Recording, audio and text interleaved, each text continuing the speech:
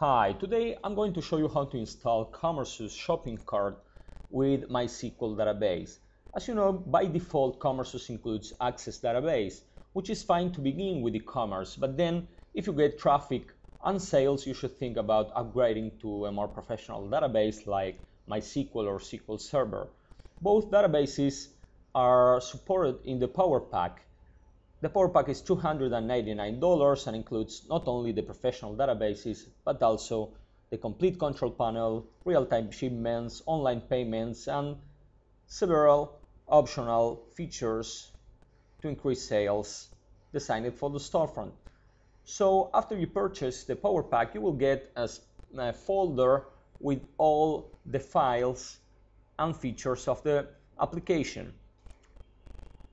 You have to extract one folder contained inside the Power Pack, which is SQL folder.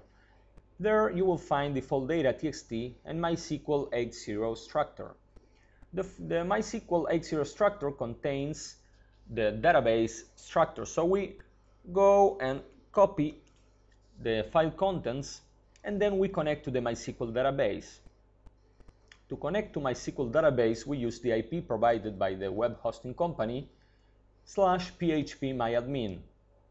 Then we put the database username and the database password. We click go and then we are connected to MySQL database. The next step is to click in Comersus database. Maybe that name is different in your hosting company. And then we click in the SQL tab. Once we obtain the SQL text box, we paste the contents of the structure and we click go. Okay, your SQL query has been executed successfully and you can see all Comersus tables in the sidebar. Right now, the next step is to return to SQL folder of the Power Pack and double click default data.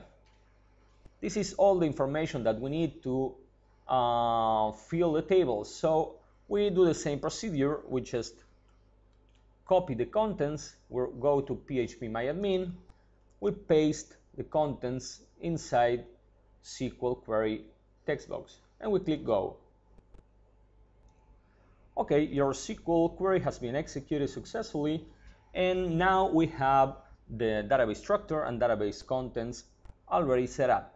The next step is to go to the local Comersus and zipped files, includes folder, and double click into settings. Inside that file, we have the database information. So we go to this line, and instead of access, we are going to specify that now we are using MySQL.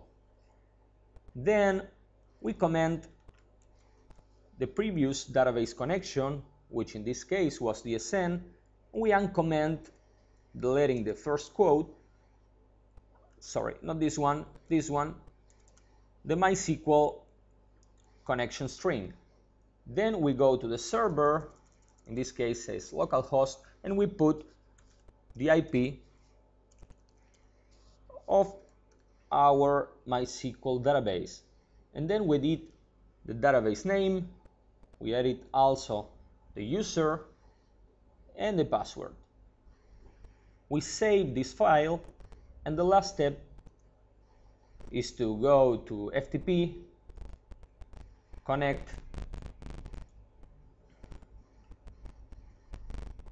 go to includes folder and just upload the modified settings. So that's it. That was everything and right now we have our commerce store connected to a professional MySQL database. Thank you very much.